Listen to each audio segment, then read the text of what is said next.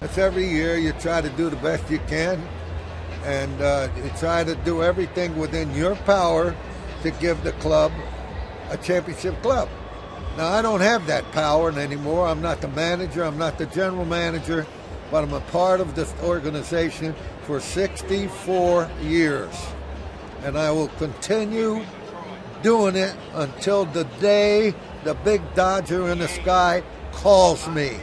He's going to call me one day, and I'm going to go up and see all the ex Dodgers up there. So I'm going to, I, I, got about 14, 15 more years to, to, to, be a part of the Dodger organization. Who's the uh, first Dodger you want to see in Dodger heaven?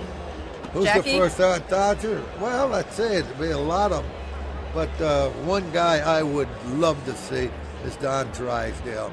I roomed with him in AAA. I worked with him, and uh, he went on to become one of the great pitchers of our game.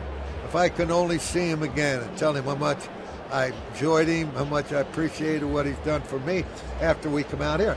When I when he played for me, you know, I, I was a pretty good known pitcher in, in Montreal. Pitched there a long time.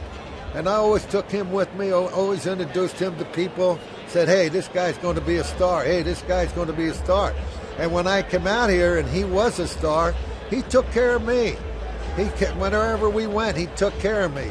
He didn't forget Tommy. And I've listened because when he passed away, I took the responsibility of being helpful to his family.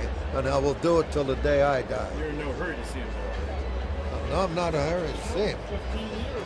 He could, uh, Big God in the Sky can take me when I reach 100.